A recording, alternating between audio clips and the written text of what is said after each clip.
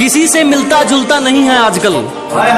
वो खुद को अच्छे से जान रहा है। हाँ, हाँ, हाँ। कि किसी से मिलता जुलता नहीं है आजकल वो खुद को अच्छे से जान रहा है। वो तैयारी कर रहा है एक बड़ी उड़ान की। लोग सोच रहे हैं परिंदा हार मान रहा है।